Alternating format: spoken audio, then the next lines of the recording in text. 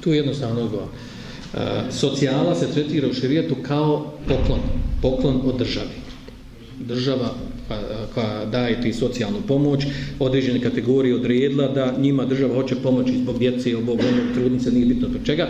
Ovaj, I čovjek koji ostvari ta prava, njemu je e, šerijatski dozvoljeno da uzima tu socijalu i prima je kao poklon pomoć od države. Pomoć je dozvoljeno primiti, nema smijeti u tome šerijatski.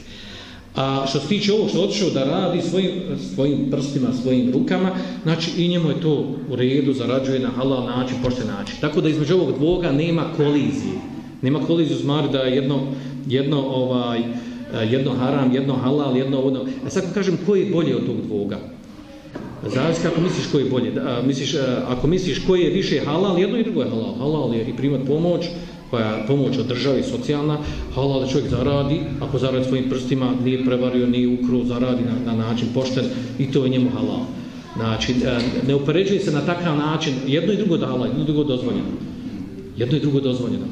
To sad što ovaj leži, a dobija, a ovaj radi, pa dobija, to je sad druga. To, ja ne ulazim u to, je li on ima opravdanje za tu socijalu, ili ne ima opravdanje, ili vara država, ne vara država, govorimo da je, da je stanje u redu dobiva zato što je ispunio uslove papira da može dobijati. E sad ne ulazimo ove detalje, u detalje toga.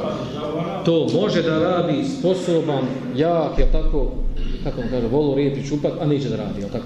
To onaj, a, a, ako ovdje vraćamo sad na to, jel njemu nude posao, a on odbija, ili mu nude, a on tamo ne može zraditi vjerske obave, znači, tad ima tu detalja, zavis kako su okolnosti. Znači, ne možemo presjeći reći ovako, njemu je haram, pa ne. njemu nije haram, haram socijala. Dok te god ispunjava šartove, osoba koja može dobijati. To što neko za ljubomora na njih, to, to riješite između se.